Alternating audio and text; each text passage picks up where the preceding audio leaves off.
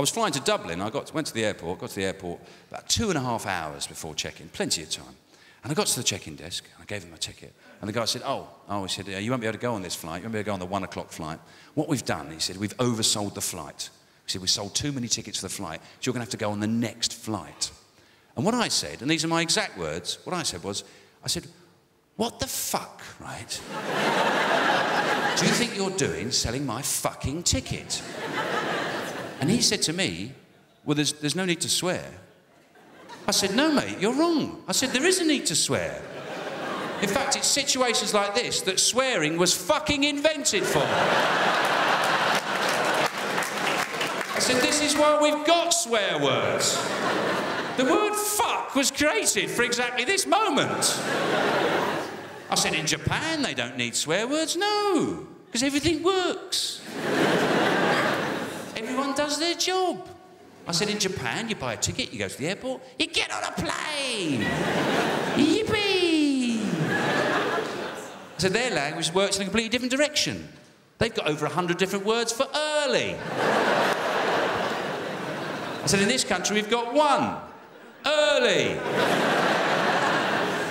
And the last time you heard that, mate, you were shagging your wife. Felt pretty good. And he said to me, he said, You're only saying that because I'm black. I said, That's not true. Because he wasn't. He wasn't.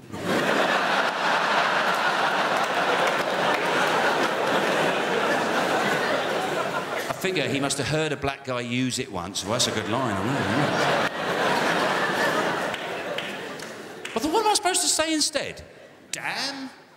Blast? Well, fiddlesticks. well, shiver my timbers. I shan't be travelling a vast today, mateys.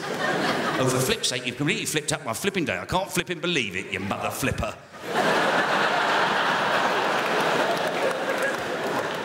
I'm quite, I'm quite interested, though, that people that do object to swearing, you know, if there's, a, if there's a situation where they think things are so bad, actually swear away. Yeah, things just swear away. Like a legitimate occasion to swear.